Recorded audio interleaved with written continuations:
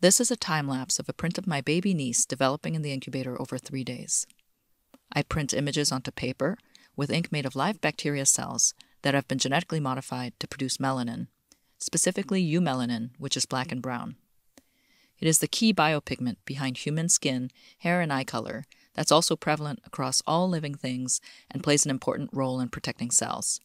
Here, her image only becomes legible as the melanin emerges because our eyes rely on contrast to see.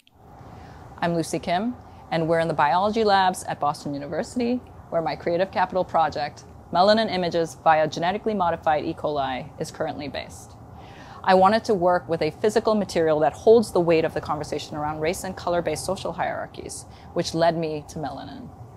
But I wanted to keep going and interrogate vision itself and how vision is used to justify a lot of things that are not, in fact, fact.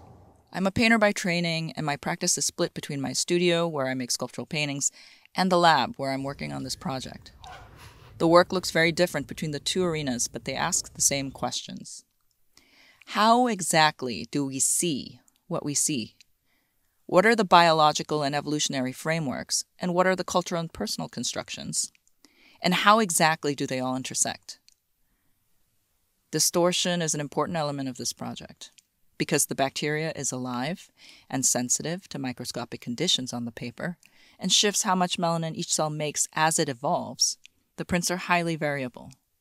The original images are often distorted by this living process.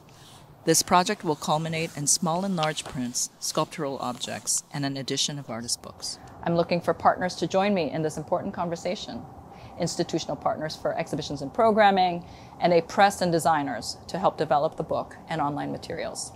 Thank you.